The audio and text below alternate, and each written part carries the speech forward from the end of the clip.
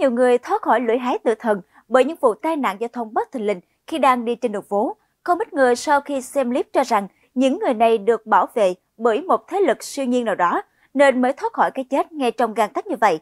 Mới đây, một trường hợp hy hữu đã xảy ra ngay trên đường khiến người xem phải thoát tim hoảng sợ. Đây không phải là vụ việc tai nạn giao thông nghiêm trọng, mà là pha thoát chết phải lưỡi hái tử thần một cách kỳ diệu. Cụ thể trong clip được camera nên ghi lại có thể thấy, vào khoảng hơn 2 giờ trưa, cây cột điện ở bên đường bất ngờ đổ xuống. Đáng nói hơn là một cô gái đi xe máy trên đường đang lao tới vào một cụ ông cũng đang đi bộ gần qua.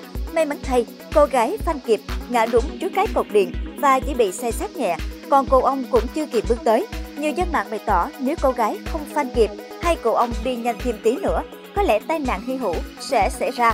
Chẳng ai có thể biết trước được tai nạn có thể ập xuống dưới bất kỳ lúc nào. Một số người sau khi xem kỹ đoạn video đã nhận định bên kia đường con xe kéo đang cho con máy xúc trèo lên, kéo dây nên đổ cục điện.